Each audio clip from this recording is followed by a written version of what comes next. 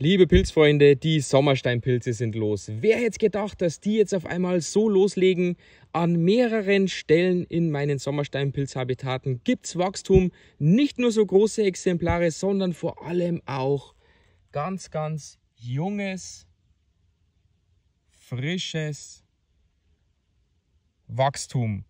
Überall Sommersteinpilze. Wenn ihr Habitate mit denen habt, ja, und ihr vielleicht auch aus Oberbayern kommt, dann schaut unbedingt in eure Habitate. Es scheinen aktuell wirklich tolle Funde möglich zu sein.